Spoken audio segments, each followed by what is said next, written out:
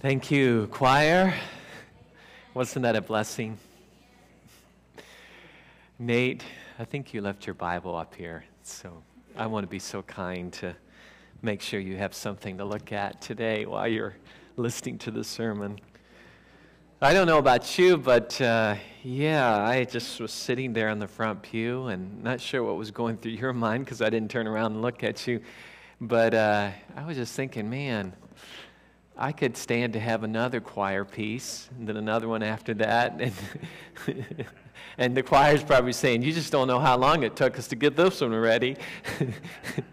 so, anyhow, what a treat, what a bonus to have a choir at Standifer Gap. Thank you, choir members, for adding that part singing, singing, singing. I like that. Uh, yeah, just, yeah. And we have a lot of reasons to sing today, don't we, when we think about how good God has been to us.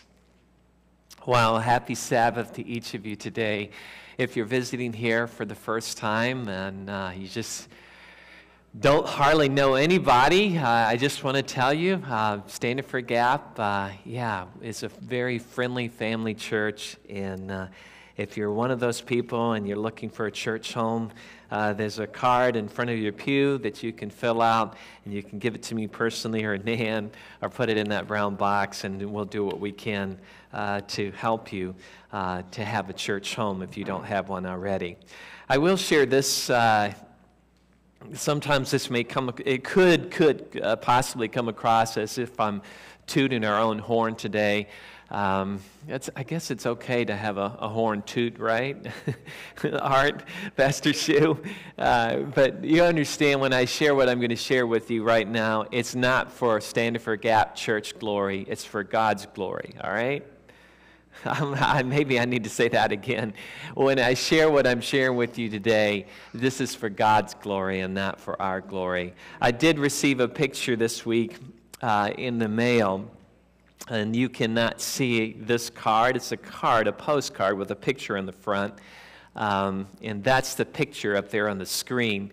Uh, some of you recognize uh, those individuals. Uh, I'm sure if you've been attending Standifer Gap uh, for a number of months here, you'll recognize all of them. Just in case there's some of you that uh, are new, the guy in the middle, standing next to Pastor Ian and myself, is Pastor Brandon Ford. Pastor Brandon Ford was our summer intern, doing the same thing that uh, Tim Gosser is doing this summer. He was doing that last summer. Um, and he came on board when the school year started last year and, and became one of our externs. So he went from intern to extern, and now he's a pastor. so it's, it's working out for uh, Brandon. Uh, he, he's actually in the Carolina Conference, and he preaches his first sermon next Sabbath. I thought it was today, Ian, but it's next Sabbath he'll be preaching, so we need to pray for Brandon. Well, his mom and dad, they visited here a number of times. They happen to be from Florida, not a bad place to be from. Maybe not right now necessarily uh, in the wintertime, but uh, we have a number of family and friends uh, I know in this church that enjoy going uh, down to Florida. Well, they attend a church down there. Uh, evidently, it, it's a really good church. Um, so I think it was their hope and prayer that when Brandon went off to Southern, that he would be able to find a church home that he could come to uh, and be a part of. And I think as you listen today, uh, mom's prayers, dad's prayers were answered. So, this is just a little thank you uh, to me, first of all. Uh, what a blessing you've been to Brandon. Um, and then she continues here and she says this She says, What an awesome church you have, too. And I have to say amen to that. She's talking about my church, but your church, too. Um, what an awesome church you have. Uh, he always said, Brandon always said, the church was so much like his church um, that he has in Florida with friendly people, and he always felt, felt loved and at home here at Standifer Gap. Isn't that cool? so I know it's probably hard to pat yourself on the back, uh, but instead of doing that, I just think just point up and say, yeah, when somebody scores a touchdown, you know, they give God the glory. That's what we're doing today. Uh, but yes, uh, Brandon, he felt that here. She says, uh, Brandon will always miss being here. Uh, so he's excited to work for the Lord. Uh, And she says again, Thank you again, and may God bless you. And then adds this, and your church family. And then she signed her name. Why do I share that with you? Because, again, as I've said many a time from this pulpit here, like I said last week, you would expect me to say this. I think Standifer Gap is a wonderful church. I think we have a wonderful church family. And I do believe it's because of people like you that, that we're making a difference in the lives of young adults like Brandon. And some of you know the luxury that we have here at Standifer Gap is because we're so close to Southern Adventist University. We have these young men, and we had a young woman a while back that come over and help us. I think that's pretty neat. And so uh, you guys have partnered with me. And for a while, Pastor Shu was working with them too before I came. And so this has been a rich tradition here, these externs that come and they work with Standifer Gap Church. And uh, eventually they graduate and they go off to pastor their own church somewhere, but they have good memories of what they received when they were here. And so I just want to commend church family, you, for what you do to make this church what it is. Um, yeah, don't stop doing what you're doing. Continue to love um, continue to care, and especially, yeah, pray for all of our extern pastors. And also pray today for um, our assistant pastor, Pastor Ian. Come on up. Uh, today, uh, I'm going to invite him up to talk about something that I know that he's excited about. In your job, Pastor Ian, I know you're excited, but you got to get the rest of us excited about what's happening this coming Monday. So share with us what's starting this Monday at 6:30 p.m. I will try to be, my voice will be try to be as exciting as possible. Unfortunately, coming back from vacation, I was really tired the first day, really great the next day, and then I got sick the last two days. So my voice is completely gone. It's still here. But this Monday starts our Vacation Bible School program. Um, it is entitled The Mighty Fortress in Jesus, the Victory is Won. The entire premise behind this vacation Bible school is teaching children, both young and old, that in Jesus, in so many different ways, we can receive the victory. Amen. Whether that's from victory from people that are being mean to you at school, or victory from the sins that you have committed in your life. No matter what, Jesus has given us the victory in those areas of our lives. Cool. So, Pastor Ian, can you tell us a little bit about the age group that you're looking at? Who can come to VBS? Yeah, the age group for our Vacation Bible School is grades 1 through 6 or ages 6 through 12. Now, if you have a younger child who wants to come and attend Vacation Bible School, you are more than welcome to bring that child, but the parent must be attending with the child to be there. All right? So that's ages 6 through 12 age uh, grades 1 through 6. Now, if you're 13 or older, I would love it if you'd come to me and ask if you want to volunteer. Because we have a lot of youth actually really involved in this program this yeah. year. Uh, so we're really, uh, really excited about that. Uh, a lot of the youth are going to be helping out with our play, helping out and escorting the kids all over our Vacation Bible School program, and in all the different areas, whether it's the games, whether it's the snacks, whether it's the crafts uh, the youth are going to be fully engrossed in this program and helping these kids see Jesus. So, Pastor Ian, I know you've been building a team. Uh, you mentioned the youth that are helping you, and there's some adults that are helping you also. Are you to the point now that you don't need anybody else to help? No. I could I could use every single person that I can find. Okay. Any anybody that wants to come, even if you show up the day of, I will put you somewhere. I will put you to work. I will never find too many people to help out with Vacation Bible School. All right, so suppose you're an adult here and you cannot commit to every night next week, but you could give at least one night. Um, how should they handle that? How should they handle that coming just for? Just is that okay if they yeah. come for one night? If they co- if you need to only come for one night, I am perfectly fine with you guys coming for one night. That means you're helping out with one night of VBS, and that is very helpful to these kids. It's helpful to all of our staff. It's helpful to me. So I, if you can only come out one night, I highly encourage come out one night. Let me know afterwards what night that you can help, and I'll uh, put you down.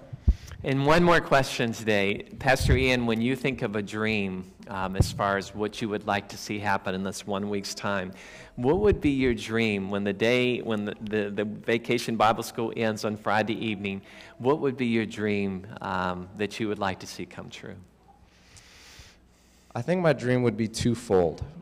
Um, first and foremost, we're ministering to the kids who are coming to this vacation Bible school. For those kids who are coming out in the community, even the kids who are in our church coming, we want them to see Jesus. Amen. That is my utmost uh, first part of my dream. Not only that, but I think the second biggest part of my dream is everybody who's involved in this to see Jesus. Amen.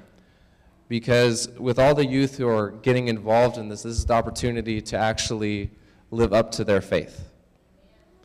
To live up to showing these kids about Jesus. Because we're not doing this for ourselves. We're doing this completely for Jesus and teaching these kids about Jesus. Amen.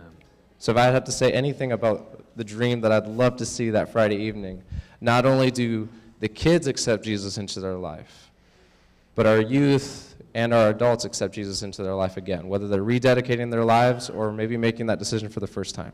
Amen. So it's very clear that Pastor Ian and his team have a dream of seeing kids come to know Jesus. Here's the next question, and that is how can that happen unless someone brings them? Now, we all know that we, there's flyers, there's inserts. Pastor Ian, I'm sure you have something there in the foyer that they can pick up. I think it was an insert last week in the bulletin. So there's those kind of things there that people can use to invite uh, friends, family to this. Uh, uh, but anyway, any, any way that you can connect with people and let them know about this, Facebook, whatever, yeah, how can they come to know Jesus if they never received an invitation? Plain and simple, right? And so today and tomorrow we have two days left. And so if you know of someone, even if they can't drive here, if you could pick them up or ask somebody to partner with you to make sure they get here, that would be much appreciated.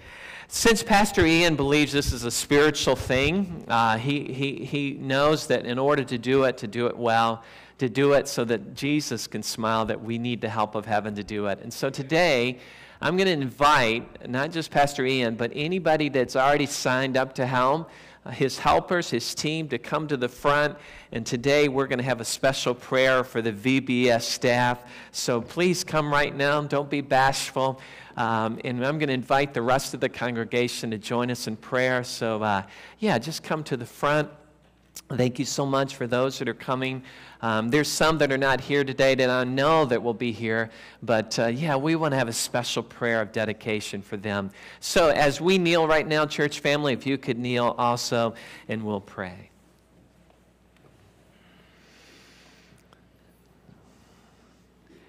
Father, thank you so much that you gave us the privilege to do this work of helping others come to know you. We know the angels could have done a lot better job, but you didn't ask the angels to do this job. You asked us. And VBS, in some ways, may seem like a really small mission field, but the truth of the matter is, if Pastor Ian's dream comes true, that on Friday evening, each of these children, in some form or fashion, saw Jesus, and Jesus changed their life. But not just the child's life. We must not forget that this can trickle down into the home too, to mom and dad. And we're not sure where you want to take it, but we pray that your spirit may lead. I pray that you'll baptize each one of these leaders, um, especially Pastor Ian. Uh, give them strength, give them guidance, protect them, protect our church, um, and help us all, if we can't help, help us all to remember VBS this week in our prayers. We also pray today for Joan Wilson. We know she's struggling right now with a heart issue. Uh, be close to her today. Kevin, Father, and Mary. Uh, we pray for them today. Our dear sweet Judy Phillips also, as she's dealing with heart issues, Lord, um, and all those, Lord, that are struggling and on our prayer list, pray that you be with them um, and Tina, Father, too. Thank you so much for hearing our prayer and blessing us now as we get ready to go into your word. And may your spirit lead in Jesus' name. Amen.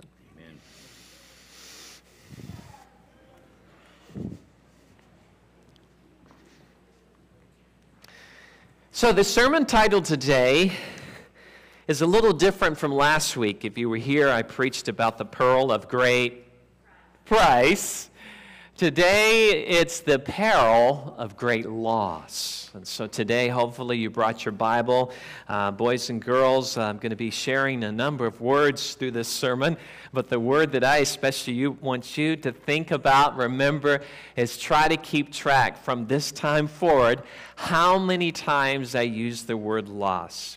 As you think about great losses today, think about losses in your life that you've encountered. How many of you have ever had or received a pink slip before. You ever received a pink slip?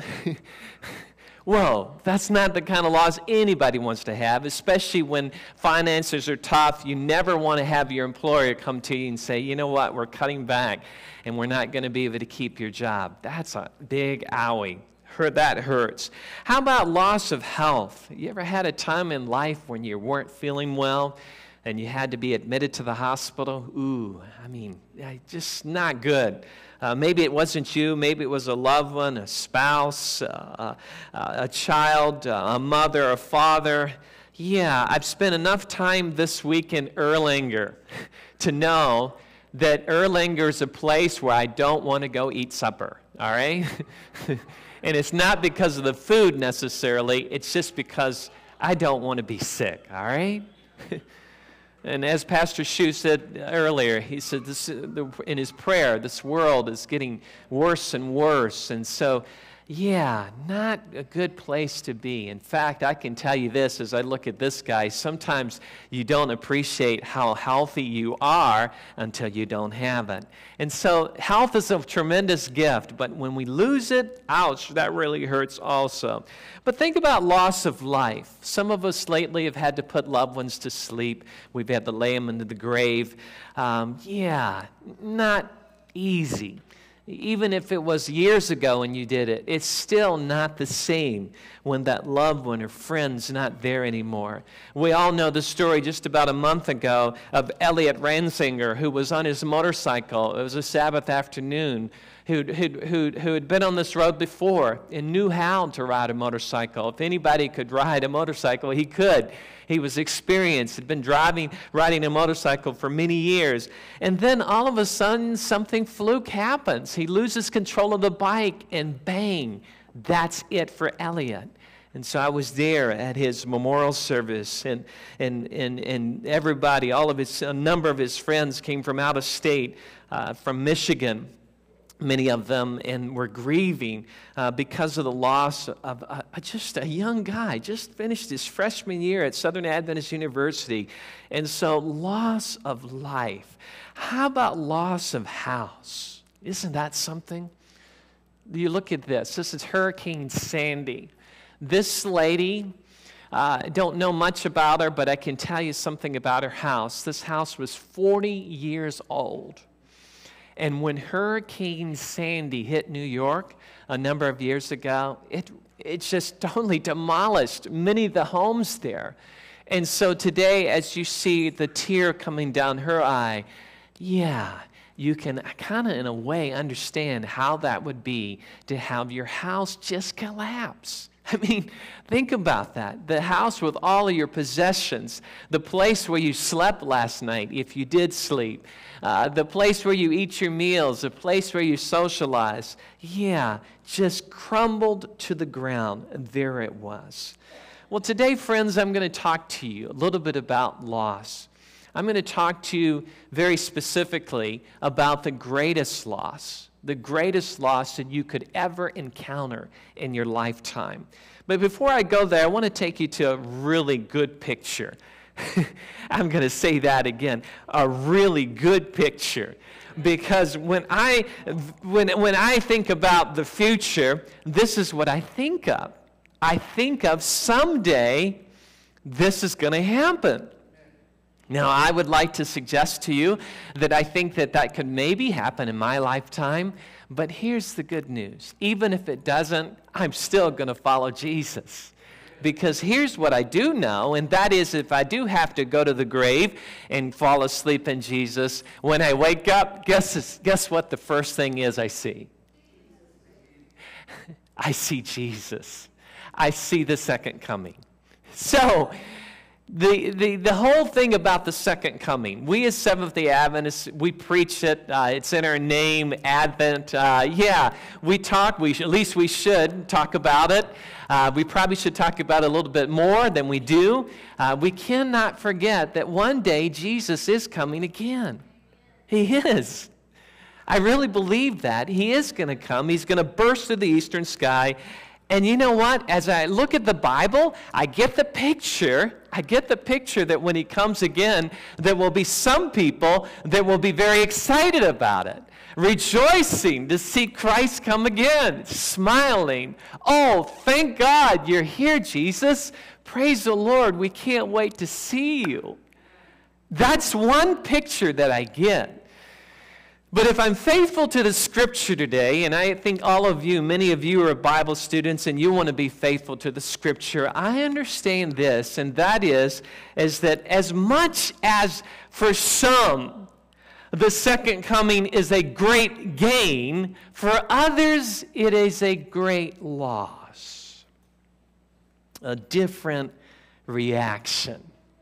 Some excited to see Jesus come again. Others, wow, this is not what we wanted to see, and ready to run the other direction. How do you know that, Pastor Mallory? Well, let's go back to that text in Revelation chapter 6, verse 16, and listen to the people that aren't ready for Jesus to come again. Listen what they, or watch what they say here on the screen Revelation chapter 6, verse 16, notice it says, Fall on us and hide us from the face of him who sits on the throne and from the wrath of the Lamb. Whoa. Fall on us? Mountains? Rocks? Fall on us? Let us hide? Because we don't like whose face? Jesus' face? Friends, this is a picture of what I call the greatest loss that you could ever experience. And that is, Jesus comes again and you're not ready to meet him. Yes, every other loss is hard. To lose a job, uh, to, to, to lose your health. Yeah, to lose a loved one in death, they're all hard. But this to me is the hardest to lose out on the trip of a lifetime. I'm talking the vacation of all vacations, friends. this is going to be one great ride. But the sad thing is, the scripture says there will be a, one group of people there that won't get to go on the trip. Notice what it says in Jeremiah chapter 8, verse 20. Will you read it with me? The harvest is past, the summer is ended, and we are not saved. Ouch! The harvest, Christ coming to take his people, it's all done. But guess what? We're still here, and they left. Whoa! So sad. And so today, as we talk about this, there's, there's a lot of questions that come to mind, at least for me. Maybe not for you, but they definitely come to my mind, and that is who in the world will be in that company of people that will be left behind? Who will be there? Well, you know what? The scripture doesn't really necessarily say specifically who's not going to heaven. And you know what? Let me just share this with you. And that is, if the scripture doesn't say who's going to heaven and who's not, guess what? We shouldn't either. But how many times we like to make judgment calls about certain people? Well, that person's going to heaven, but oh, no, not that person. But friends, until the roll is called up yonder, you don't know. you don't know. In fact, the surprise of all surprises is you get to heaven and you find out someone that you wrote off is there. And even more of a surprise is someone that you thought was going to be there is not there. So let me make this clear. It's not our job to decide who goes to heaven. Let's leave that up to Him. He does a lot better business at the saving business than any of us ever could. Some Nate mentioned the thief on the cross. Oh, praise the Lord that there are stories that hey, before he breathed his last breath, yeah, he made that decision to follow Jesus. I like that. But friends, don't bank on that that you're just going to play around and do your own thing, and then hopefully everything will kick in before you breathe your last breath. No, don't use that. If you can avoid it, no, yeah. Make sure that Jesus is first and foremost in your life. So, while we cannot, while we cannot make an accurate assessment of who's going to be in the company that doesn't go with Jesus to heaven, we can kind of come to uh, what I would say uh, a good guesstimate. A guesstimate, meaning that, eh, yeah, it could be wrong, who knows, but this is a good guesstimate. How many of you would agree with me that when it comes to people that are going to that are not going to heaven, how many of you would agree with me that a wicked person will not go to heaven? How many of you would agree? Someone that has rejected Jesus, let me put it that way. And you could find biblical support for that. They rejected Jesus and they never accepted him the plan of salvation. Easy, right? We, we could all conclude that that person, outside of a miracle of God, which he can do again, again, it's up to him, we would all say that. So, in the company, when Jesus comes again, there are some people, I'm sure, that just never wanted to have anything to do with God. Their heaven was this world. They put all their stock, everything into this, and that's all they wanted. So they never came to church. They never opened their Bible. Yeah, they never even prayed. I think you could make a, a, a, good guess here that that kind of person would not go to heaven. But as you look at this company, this is where I'm going to really challenge you here today.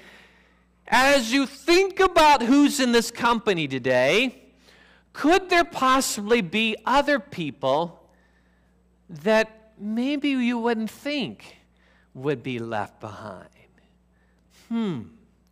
Could it be possible that when Jesus comes again, that not only will the outright wicked person be left behind, but even some people that were religious will be left behind?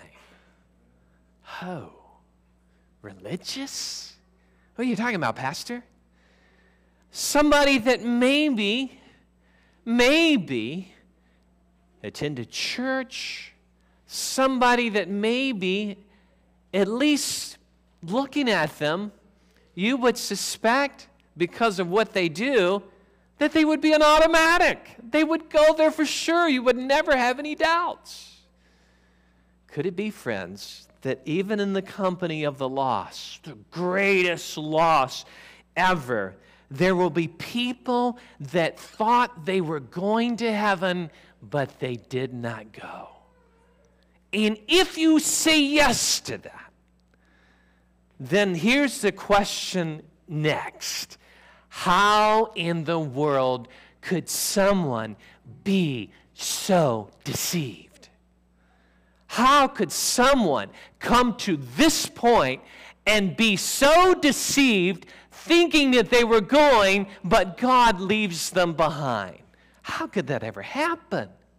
Oh, today, friends, I want to challenge you to look at a story.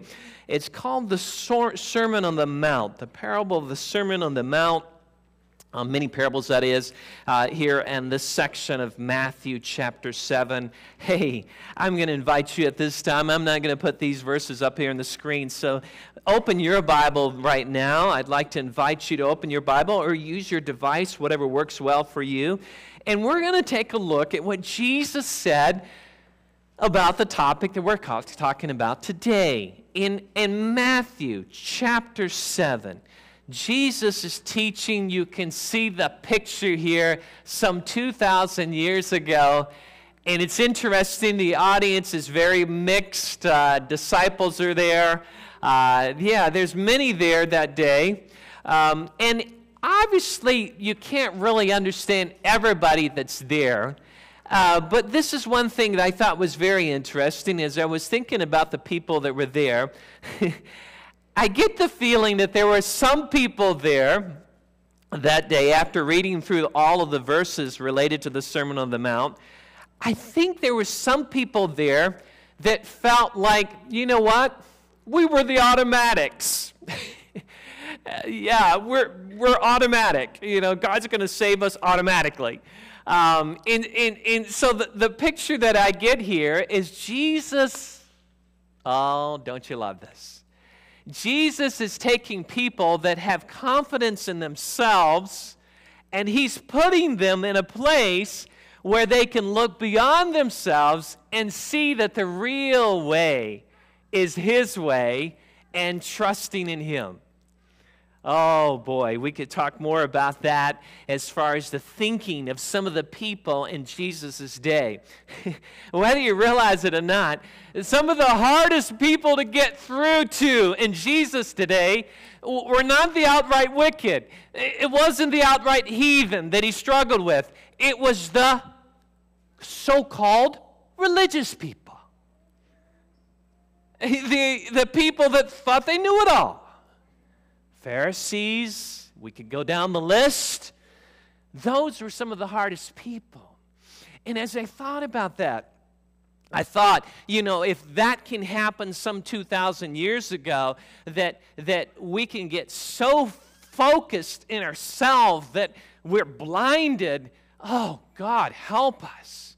Help us today to listen to the teacher as he speaks to us because none of us today I don't think you would. None of us today want to come to the end and see our loved ones disappear and go to heaven and us left behind. No one today wants to be in that position. So, Jesus today, he speaks to not just the generation 2,000 years ago, but he speaks to our generation too. He says, Not what? Everyone. Not everyone. Verse 21. As much as much as God would like to say everyone, he says not everyone. I think if it was God's desire, if you understood his heart, yeah, he would want everyone to go with him to heaven. But the Bible plainly says not everyone. And then he goes on to say the kind of people that would represent the not everyone's. Notice he says, Who says to me, Lord, Lord, shall enter the kingdom of heaven, but he who does the will of my Father in heaven. Many, not the first time that word is mentioned in this chapter, many also mentioned in verse 13 if you want to study it later. Many, it says. Now, when you say, when we think of many, if, if, I, if I say many kids are coming to vacation Bible school on Monday, what do you think of, church family? uh, my thinking is, is that the sanctuary, Pastor Ian, will be full. Uh, many will be there, all right? And notice here, that same word's used in this context. It says, many, not a few, but a lot. A many will say to me in that day, in that day, thank God for the Sabbath School Quarterly, which helped us to understand about that day. Many will say to me in that day, Lord, Lord, have we not prophesied in your name, cast out demons in your name, and done many wonders in your name. Now, friends, if you didn't know the story like most of you do, if someone was doing all these things, you would think what automatically? What would you think? hey, let me just add to that. If someone is up front here preaching like I'm preaching to you today, you would think automatically that they got everything moving in the right direction, right? That would be your logical conclusion. So essentially, you're seeing spiritual activities. Activities for someone that they call who? They call him Lord. Lord, implying I'm your servant. And it's not just once, but it says, Lord, Lord. Emphasis being that, hey, you know who we are, Jesus. We've done this thing for you, we've done that thing for you, and you know what? It gives you the impression that they were just checking off, checking off thing after thing that they'd done for God. And then verse 23 the greatest loss you could ever experience. Verse 23 And then I will declare to them, Ooh, listen, watch, I never knew you. Depart from me, you who practice lawlessness. Wow. I never, what? I never knew you. Jesus, what are you trying to say here? I don't really understand everything, but please show us what this is teaching. Never knew you? My guess is that when he said this statement, it wasn't as if he didn't know who he was talking to. So, surely, Bob, as I look at you over here to my right, I know your name. I'm sure for Jesus, he knew their name. And he probably knew much more about them. But when he says, I never knew you, it makes me think there's a level of relationship that they did not have with him. That level of relationship for them worked. They were content and they were comfortable with it. But Jesus says, It's not working for me. Never knew you. In a lot of ways, this is saying, as much as you thought we were friends, we weren't really that close after all. Deception. My, my journey on this text, I've struggled with it because whether you realize it or not, each one of us could be in this category. At some point, friends, that those exact words could be said to us. I never knew you. What, what, what, what, what does that mean? Well, it wasn't too long ago. I would say probably, probably about 10, 15 years ago. I had something happen with the person that I thought that I was really in a good relationship a right relationship, um, you, you couldn't, at least as far as my perspective, I thought everything was hunky dory, no issues. And that person happened to be my lovely wife. I happened to come home one day after working many hours, nonstop, person after person to see. I was winning the world for Jesus, but I was losing my own family. So sad. It's hard for me to even admit this. And I'd heard the stories before. Oh, whatever you do as a pastor, make sure you never forget your family. And here's the thing listen to me. I thought I was being a good husband, I thought I was being a good daddy. I was blinded, I was deceived. And so while I'm out shaking shaking the hands of church members and non church members, community members, and, and, and, and, and fellowshipping with them. I go home that evening and I talk to my wife, and I could tell something is, is, was really wrong. Now, I don't know, gentlemen here today, those of you that are married, uh, do you have the IQ enough to tell when there's a problem in your marriage? You, can you tell that? Dick, I didn't ask you to be so public here. Just, just raise your hand, all right? Don't raise your hand, all right? so I, I knew that by the, by the nonverbal cues, I knew that there was problems. And so, you know, I, I thought, what could I do here? You know, I can give her a foot massage. Usually that helps, but I don't think a foot massage would work this time. And she and I said, "Sweetheart, what's wrong?" And this is what she said to me. I'll never forget the words. She looked at me, paused before she said something, and looked at my in, in my eyes, and she says, "I don't know you. I don't know you." Does that mean she didn't know I was Mickey Mallory or her husband? No, it didn't mean that. What it did mean is that because I was busy doing all these other things for so many other people, that the relationship I thought was secure wasn't secure. And she was essentially saying that we have nothing. We have nothing. As much as you may think, I'm such a happy wife and, and rejoicing with you and everything.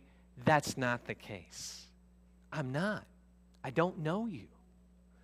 And so when I went to this verse and thought about Jesus and his love for the church, I realized in a lot of ways he's just like my wife.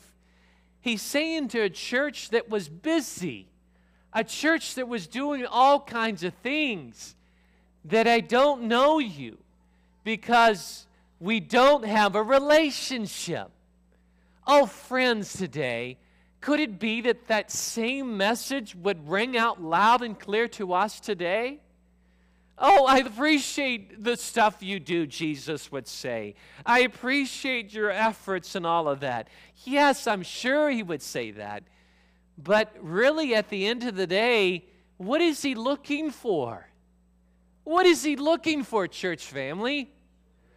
He's not looking for all the motions, he's looking for your heart. I'll say it again. He's looking for your heart. And so today, this whole story brings up the biggest question of the morning and now the afternoon. And that is Does Jesus have your heart.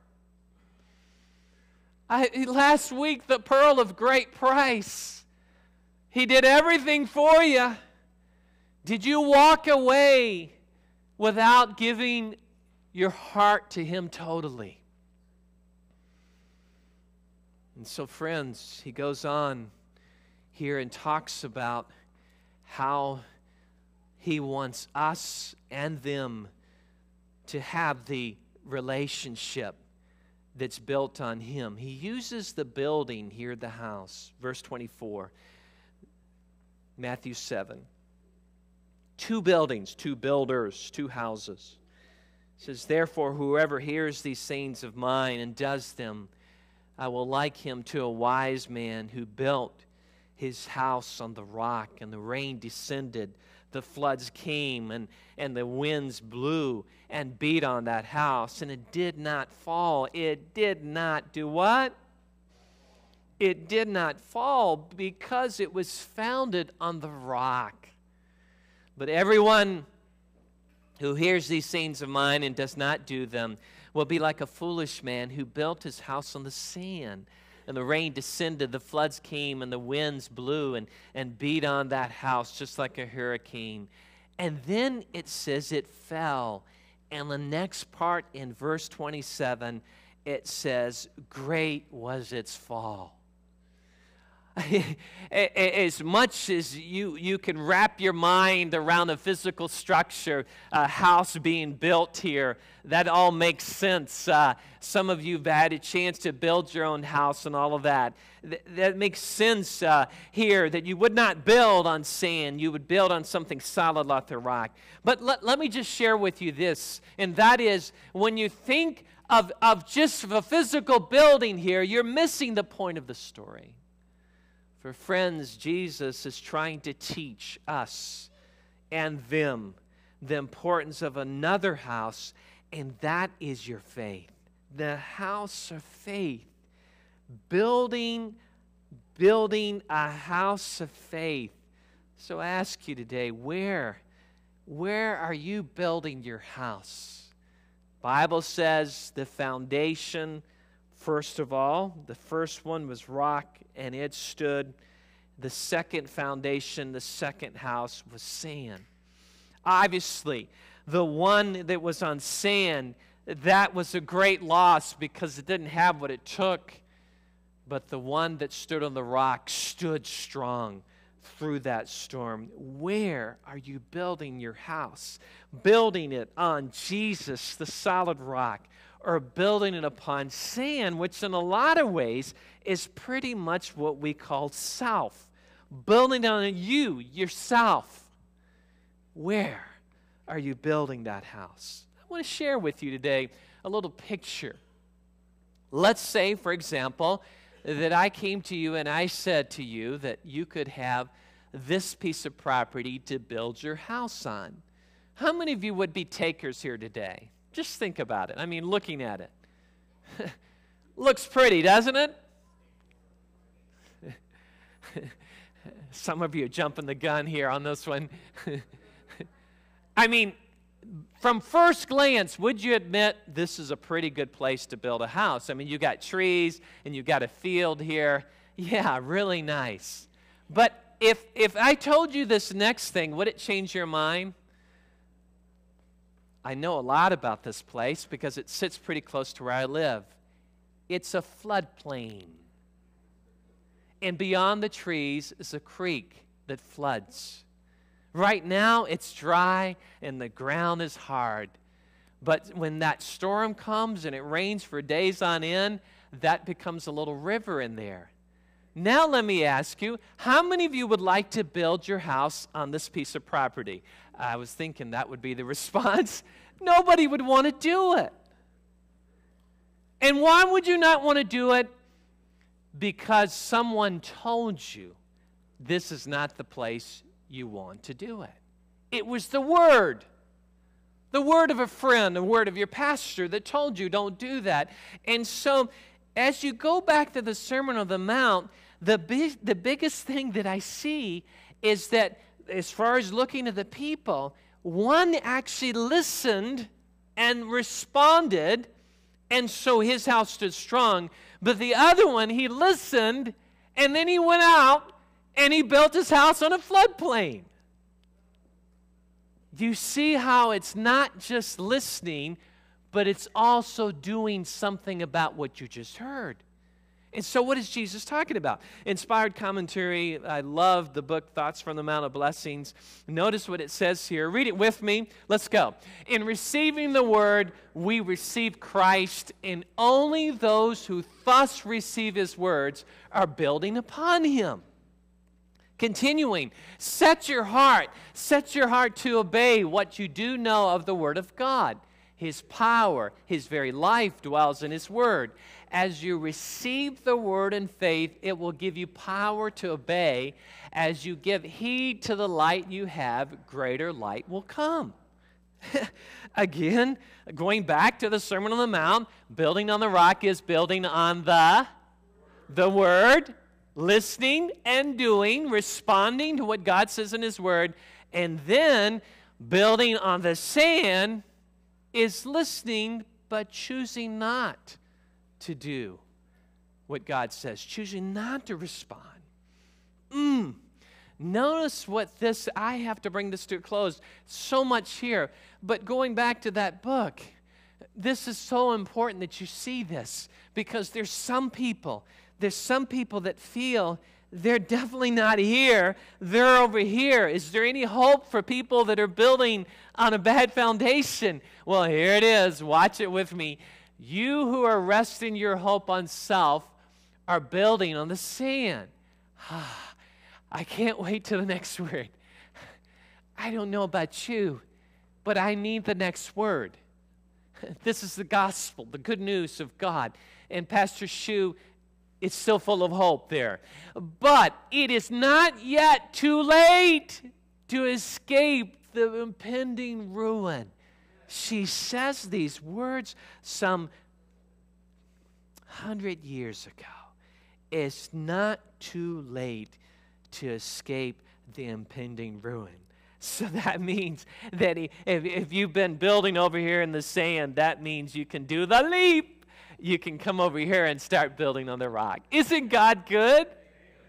So you may have thought at the beginning of this sermon, oh boy, I'm, I'm, there's just not much hope for me. But the good news is there is hope for you going back to the same uh, chapter, Matthew 7 7, read it with me. Ask and it will be given to you. Seek and you will find. Knock and it will be open to you. What is Jesus trying to say? He's trying to say to anybody here today that's been building on the sand, all it takes is just opening the door and I'll come.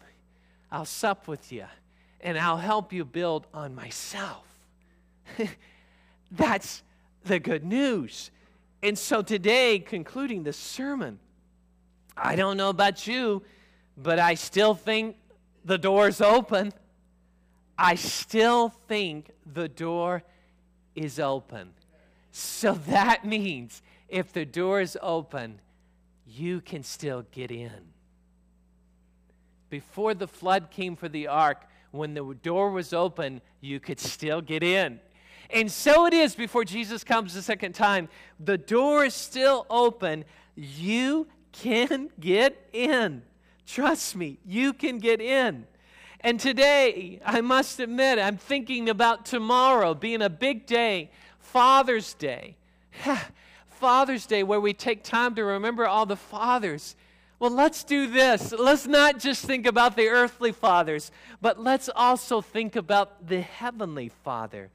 Remember Jesus' baptism, the baptism of Jesus. Remember, the, the Spirit of God descended as a dove. The Spirit of God was there. The Trinity was there. Where was the Father? How did you know the Father was there? You remember?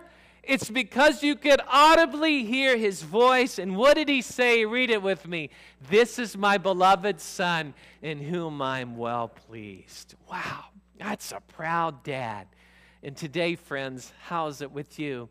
Are you wanting to make God proud of you and your decision to follow Him?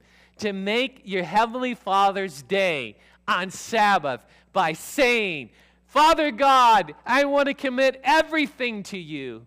Are you that person today that's never been baptized before? Why put that off? Why today? Put that off. Are you that person today that maybe at one point you were baptized, but you've drifted away, and so that Jesus comes again, you know for sure that you won't make it. You've been totally deceived. You thought you were okay, but today you know you're not okay. Today, are you that person and you need to make a decision? Or are you that person today that says, you know what? I have been on the rock, but the devil's pulling me off and he's trying to cause me to build on the sand, and I don't want to build on that. I need your help today.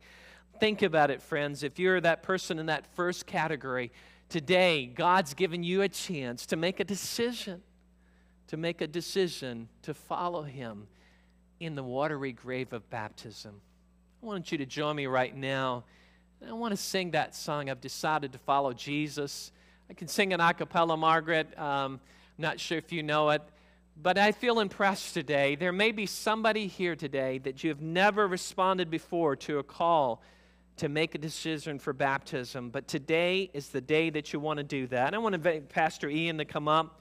Um, and Pastor Tim, why don't you come up today, uh, you gentlemen, and I want you to join me up front. And please, today, if God's speaking to your heart, yeah, come today. This is a call for baptism. You've never made that decision before what do you say? Well, Pastor Mallory, I've made a decision for baptism before. Uh, what do you do at this point? You pray. So, somebody here today, yeah, let's sing this song together. I have decided to follow Jesus. I have decided to follow Jesus. I have decided to follow Jesus. No turning back. No turning back. Today, friends, if that's you, one more thing I'm going to ask you to do is I'm going to ask you to come out of your pew and join Pastor Ian, Pastor Tim, and myself today. And we would like to have a special prayer with you after church today. I know this is bold. I mean, this is big time nervousness for some of you. But you know what? Jesus says if you confess me on earth before others, he'll confess you in heaven before heaven. And so today, if you're that person, you've never made that decision to follow in the steps of Christ, to make your Father happy by being baptized, I ask you today, as we sing this chorus once more, that you will come forward. I have decided to follow Jesus. I have decided to follow Jesus. I have decided to follow Jesus. No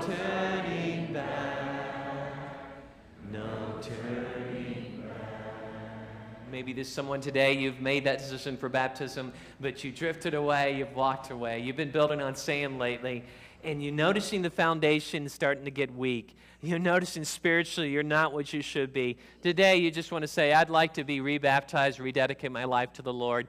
I want to invite you to come as we sing again that chorus. I have decided to follow Jesus. I have decided to follow Jesus. I have decided to follow Jesus. No turning back. No turning back. Let's pray. Father, Thank you so much for giving us the story of the Sermon on the Mount. So much in that story. Jesus, you definitely were trying to reach a generation that were, in a lot of ways, was totally deceived. They didn't understand everything. They thought that since they were going through the motions, that would be an automatic. But Jesus, you helped them to see that it wasn't automatic that truly they had a heart problem and they needed a new heart. They needed a relationship with you.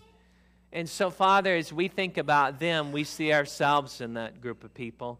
In a lot of ways, Lord, we've been burning the candle at both ends, doing all these great things, but some of us are so dead on the inside. and we feel like our house is going to crumble.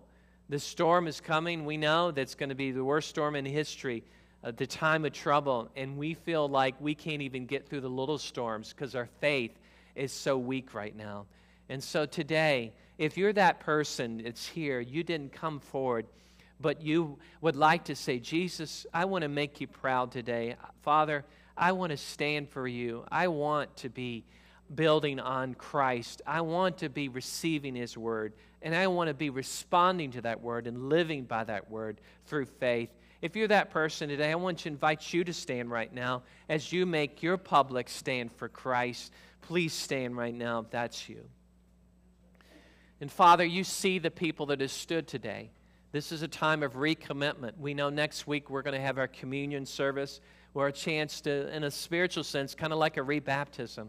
But today, Lord, we just want to th- say thank you so much that you're in the saving business and that we can come to you just as we are. Whether we've been in the church uh, for just a few years or whether we've been in the church for many years, we can come to you today, Jesus, and know that our salvation is secure in you. If you're that person, I'd like to invite you to stand right now in thanksgiving to God for his plan of salvation before we close this prayer. Again, Father, bless each person that's made decisions in their private way, whatever way. Lord, we pray that your Spirit will lead. Thank you for hearing our prayer. In Christ's name, amen.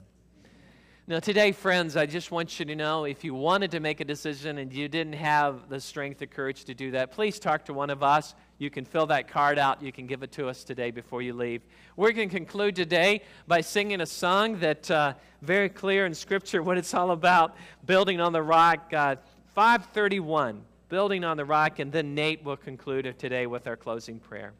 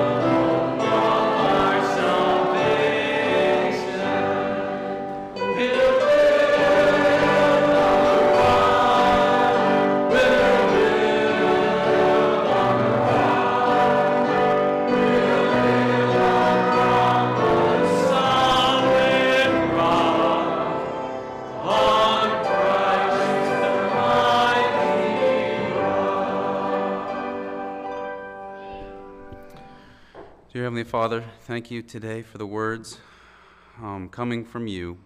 Please give us the courage, Lord, to follow your will this week. Um, no matter what you have to do to us this week, Lord, just save us in your kingdom, we pray. In your name we pray. Amen.